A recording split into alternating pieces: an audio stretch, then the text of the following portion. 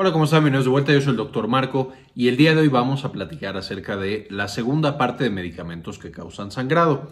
En este video viendo todas las demás causas que no tienen que ver al menos directamente o principalmente con las plaquetas. Entonces con esto empecemos. Veamos entonces la segunda parte de medicamentos que causan sangrado, ahora hablando de problemas de la coagulación. ¿Qué es la coagulación? No voy a meter mucho en detalle, pero es un proceso muy complejo que incluye a vaso sanguíneo, a plaquetas y a proteínas de la coagulación, todas trabajando en conjunto para esencialmente convertir la sangre de un líquido a un sólido y entonces detener la salida de este líquido, de esta sangre, de nuestros vasos sanguíneos hacia afuera. Es un proceso de retroalimentación positiva, es decir, una vez que inicia va reclutando más y más del vaso sanguíneo, empieza a reclutar plaquetas, empiezan a reclutar proteínas de la coagulación hasta que todos están participando. Eso significa que cuando una de las partes falla, puede afectar otras partes. No me voy a enfocar mucho en plaquetas porque, de nuevo, esta es la segunda parte. En la primera parte ya vimos justamente a los medicamentos que causan sangrado por la disfunción de las plaquetas. Ya les dejé el enlace en la parte de arriba, pero se los vuelvo a dejar para que puedan consultar ese video.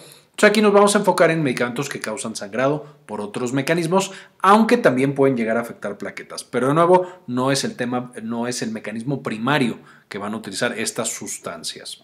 Y para entender un poquito más, les dejo también el video de proteínas de la coagulación, por supuesto para que entiendan con mucho más detalle cómo interaccionan todas estas proteínas y elementos. Les dejo aquí en la parte de arriba este otro video para que lo puedan consultar. Bastante viejito, pero creo que bastante bueno. En él vimos que estos son los factores de la coagulación. No me voy a meter mucho en detalle para todos estos elementos. Quiero solamente mostrarles, acá tenemos algo que es K. Esto se ve que el factor depende de la presencia y la actividad, la actividad, de la vitamina K. Entonces ya de aquí podemos intuir que la vitamina K va a ser esencial en la activación de muchos de estos y si la vitamina K no está funcionando, va a ser una de las principales mecanismos por los cuales estos medicamentos o sustancias van a interferir con la coagulación. También vamos a tener otros elementos en los cuales directamente la sustancia va a inhibir tanto la concentración o la actividad, por ejemplo, de fibrinógeno, de protrombina o de alguna otra cosa que tengamos en la sangre indispensable para la coagulación. También pueden interferir con la función del vaso sanguíneo y de nuevo, alguno de estos otros mecanismos. Ahora, ¿cuáles son estos medicamentos y sustancias? Eh, verán que son menos de las que interfieren con las plaquetas, porque vemos que las plaquetas tenían muchos más mecanismos y entonces se llevan un pastel mucho más grande de las sustancias que interfieren con su actividad. Y aquí tenemos principalmente inhibidores de ácidos biliares, inhibidores de la absorción de nutrientes o iones. El mecanismo de estos dos de arriba es principalmente que interfieren con la absorción de vitamina K, que es una vitamina liposoluble, es decir, se disuelve en grasita. Entonces, todo lo que nos impida absorber grasa, especialmente en el colon, va a impedir que se absorba la vitamina K. Además, esta vitamina K es producida no por nuestro cuerpo, sino por las bacterias que viven en nuestro colon. Entonces, los antibióticos en general también pueden interferir con la producción de vitamina K directamente porque destruyen a las bacterias que deberían producirla en nuestro colon o también a través de otros mecanismos interferir directamente con proteínas de la coagulación. Vamos a tener también coloides y cristaloides. Estas son sustancias que se pone directamente en la vena de los pacientes para reponer líquido cuando el paciente está deshidratado. Por supuesto, las soluciones eh, coloides y cristaloides son diferentes en sus propiedades químicas. Por ejemplo, algunas tienen proteínas, otras solamente tienen iones. Y esto lleva a que los usen o, se tengan que usar en momentos diferentes y para pacientes diferentes. Pero esencialmente, cuando nosotros le damos a nuestro paciente demasiado volumen de líquido, básicamente diluimos la cantidad de proteínas de la coagulación y esto nos puede llevar a un problema de coagulación.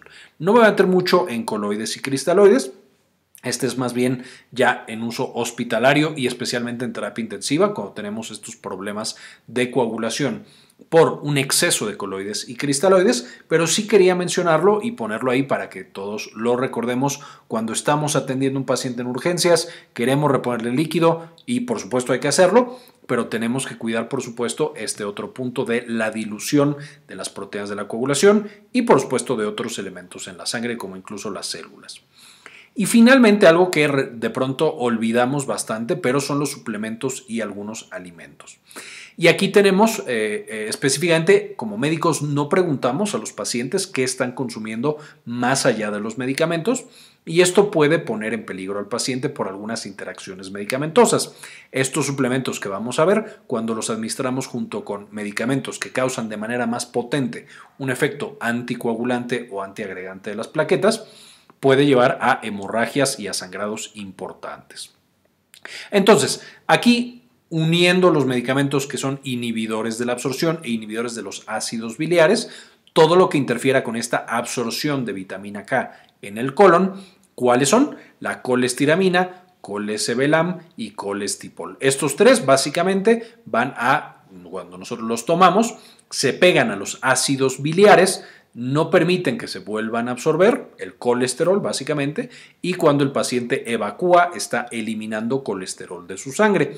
Esta era la principal manera o una de las maneras más importantes para controlar el colesterol cuando no teníamos por supuesto las estatinas. Y puede llevar a la deficiencia de todas las proteínas liposolubles, es decir, vitamina A, D, E, pero también por supuesto la vitamina K, que es por supuesto en la que nos estamos enfocando el día de hoy, implicada en la coagulación. El Orlistat, eh, eh, utilizado también para el, tratamiento de la obesidad, es otro medicamento que tomamos que impide que se absorba la grasa, se elimina a través de, de la evacuación y esto de nuevo nos lleva a una deficiencia de vitaminas liposolubles.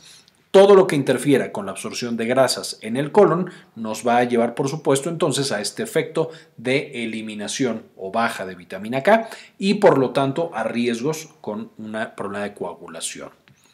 Vamos a tener también el sebelamero, que el sebelamero es completamente diferente. Este lo que hace es atrapar el fósforo, específicamente en el tracto gastrointestinal, y permitir que se elimine en la evacuación. Este es muy importante para pacientes con insuficiencia renal que empiezan a tener niveles elevados de fósforo y esto los lleva más adelante a calcificaciones metastásicas y a otros problemas cardiovasculares.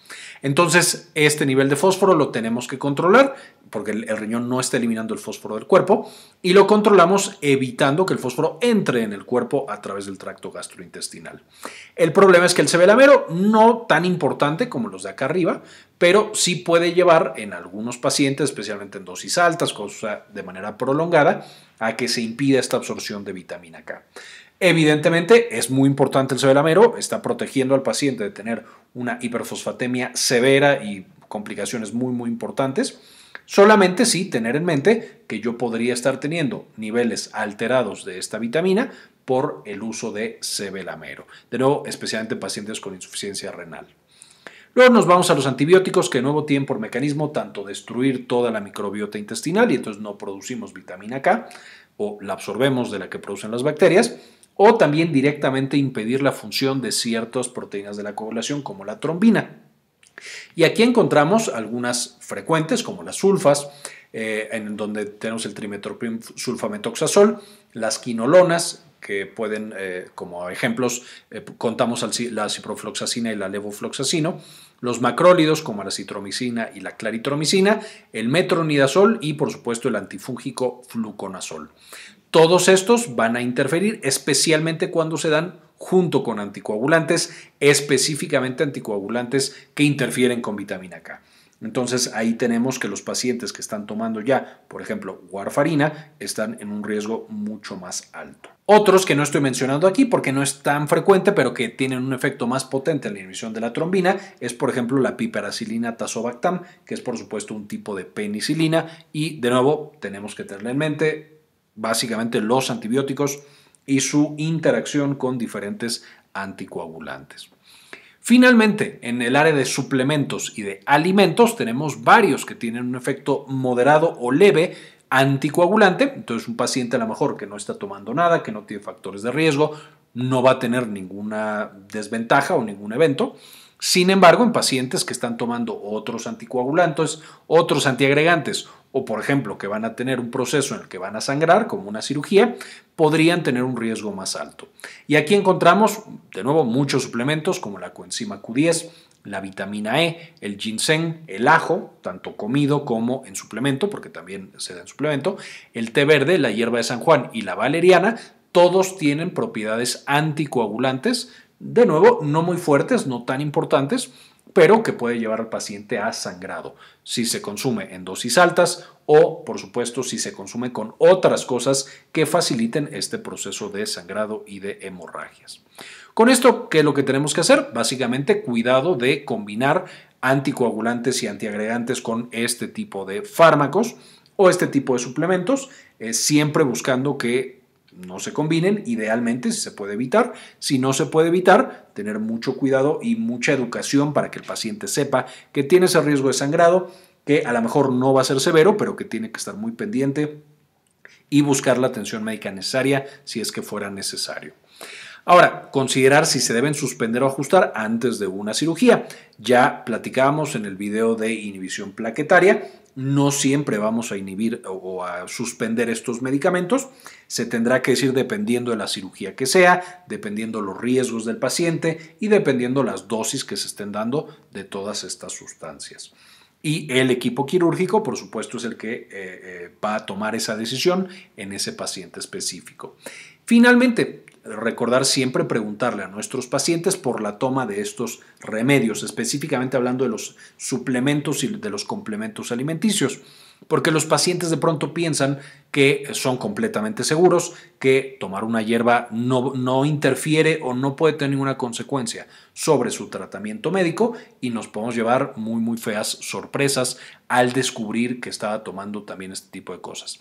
Y muchas veces no es que el paciente lo oculte, es que simplemente en su cabeza de veras es algo completamente seguro. Entonces simplemente él en la consulta preguntar, oiga, ¿está tomando alguna de estas cosas, alguna hierba, algún suplemento, alguna vitamina?